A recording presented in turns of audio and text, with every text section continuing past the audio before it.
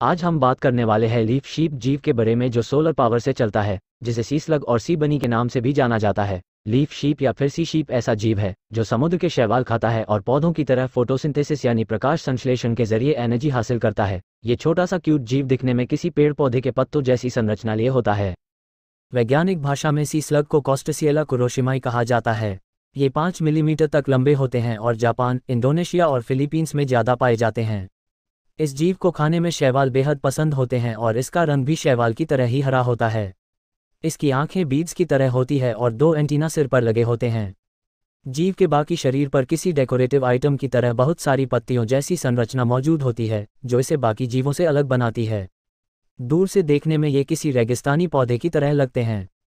जैसा कि हमने आपको बताया कि ये एल्गी खाता है और इससे मिलने वाला क्लोरोप्लास्ट उनकी डाइट का अहम हिस्सा होता है। दिलचस्प बात यह है कि दुनिया में यही एक अकेला जीव है, जो फोटोसिंथेसिस यानी प्रकाश संश्लेषण के ज़रिए ऊर्जा हासिल कर सकते हैं।